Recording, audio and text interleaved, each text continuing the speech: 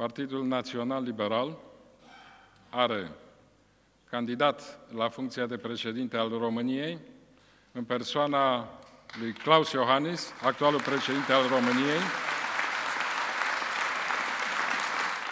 De asemenea, Partidul Național Liberal, în conformitate cu prevederile statutare, a decis candidatul partidului la funcția de prim-ministru. Și vom veni cu un program de guvernare.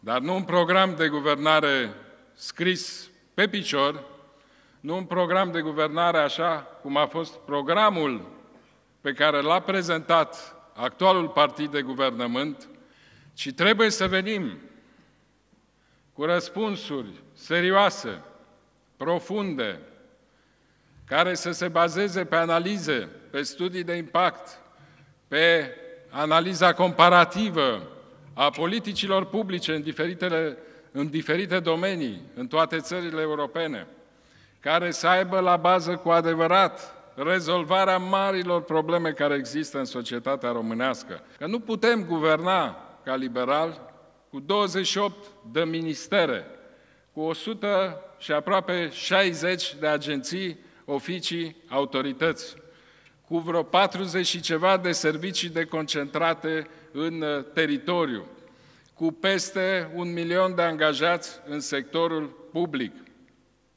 Nu se poate. Noi, ca partid, trebuie să venim cu un guvern suplu, european, de 14, maxim 15 ministere, cu o restructurare profundă a tot ce înseamnă celelalte autorități ale administrației publice centrale, care plimbă hârtii, care se calcă pe bătături și care nu fac altceva decât să reprezinte o frână în calea inițiativei individuale.